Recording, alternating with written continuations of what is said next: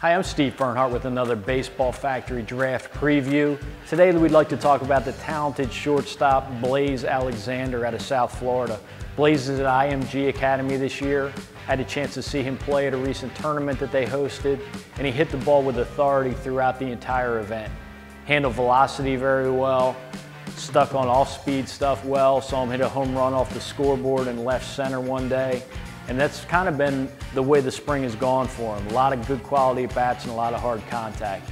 Plays short and second for them, mixes back and forth, and he plays it very well. Obviously, he's got the arm strength that he's known for. Anything he catches is thrown across the diamond with authority.